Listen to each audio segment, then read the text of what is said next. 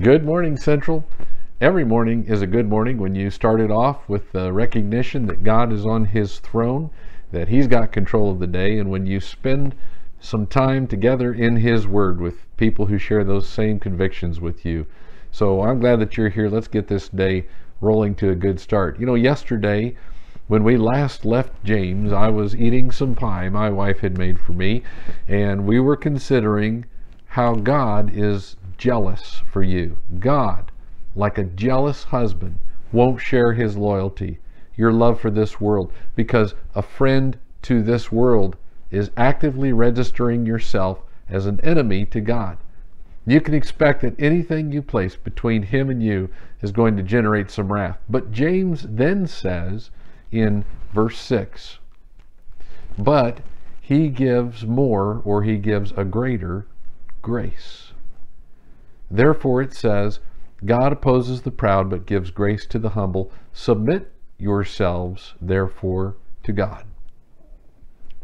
Let's talk about grace for a moment. God's unearned, unmerited favor. Even though what we really deserve is His wrath, God's grace is greater than the wrath we deserve because of our unfaithfulness to Him. I'm constantly amazed by people who decide for God what he ought to do. God ought to overlook people's sins.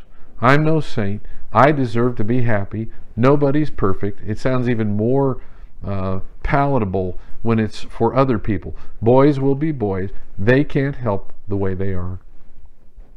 When James says God gives a greater grace, it doesn't say there he gives it unconditionally.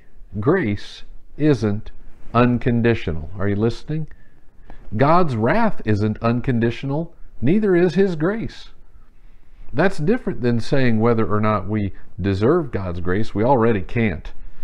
But we can't expect that God is just going to make us accept this greater grace. Let me illustrate this with something that's close to home right now. We are all feeling the oppression of the coronavirus.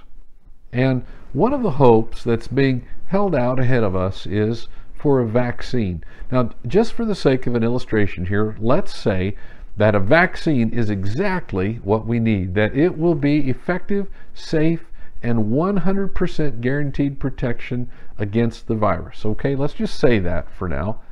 It's there. Someone else has developed it. You didn't but it's yours for free. You can't pay for it because some wealthy person has already foot the bill. Let's say that's what's going on, okay? But there's a catch. You have to go get the shot. No one's going to come tackle you and force it on you. You can't earn it, but receiving it is not unconditional. There's something for you to do. If you expect to have the promised benefits of the antidote. You may even have to wait in line for an hour, but that's not earning it. Would you do it? Well, if it guaranteed your protection, if it guaranteed you absolute protection, would you meet the conditions to be able to have that? What follows here in James's letter is the conditions to receive God's greater grace. You can't earn it. You can't do this on your own, but there are conditions here, he mentions. If you want God to be your enemy, be proud. And God gives grace to whom? The humble. Give a listen to the rest. Starting again in verse 7 Resist the devil, and he will flee from you. Draw near to God, he will draw near to you. Cleanse your hands, you sinners, and purify your hearts, you double minded. Be wretched, and mourn and weep. Let your laughter be turned to mourning, and your joy to gloom. Humble yourselves, therefore, before the Lord, and he will exalt you. You want God to exalt you? That's really what we're hoping for, isn't it, in Jesus? We are waiting to be made like Jesus.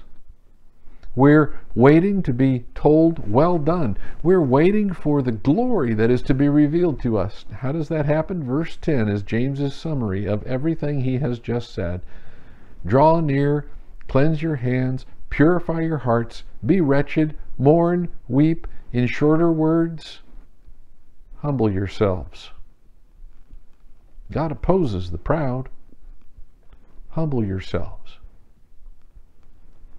That is probably a pretty good summary of what it means to follow Jesus, isn't it? Think of all the different ways we try to describe that. Like it is yielding to Him as Lord, it's denying yourself, it's becoming a servant to all, it's taking up your cross, it's storing up treasure in heaven, it's becoming like a child. The list goes on and on and on. And James has managed to put it into a single word in the original here by inspiration of the Holy Spirit. Humble yourself. Can you trust God to keep His end of that today? It's not easy to lower yourself, but if you believe God, it's a no brainer. You can make God your enemy, or you can humble yourself have his promise that he will exalt you. I'll take door number two, Monty. Let's pray.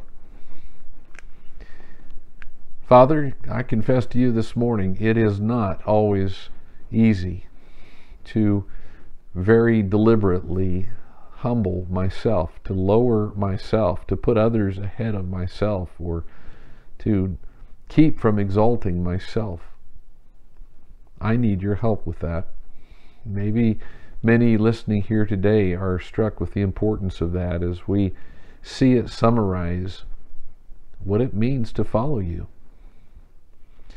Father, I pray that that humility of mind will be evident to the people around us, that we are of our own goodness, our own ability, not enough. And so this morning, as we start this day together, Father, it is by humbling ourselves again, saying thank you for your wonderful gift of grace.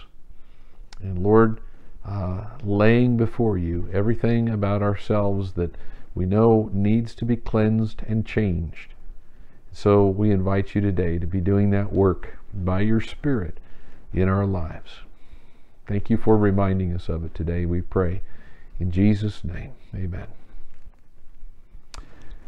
I'm humbled that you're here. I'm glad that uh, all of you are here today and uh, hope that you'll join me in making an effort to really humble ourselves before the Lord in the assurance that one day He's going to exalt us. What a great message to share with people who need words of encouragement today. Would you take a moment and share this post?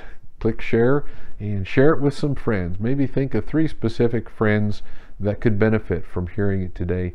And let's get this good word out to someone else that needs to hear it today. Plan to see you tomorrow. Till then, God bless you. Have a great day.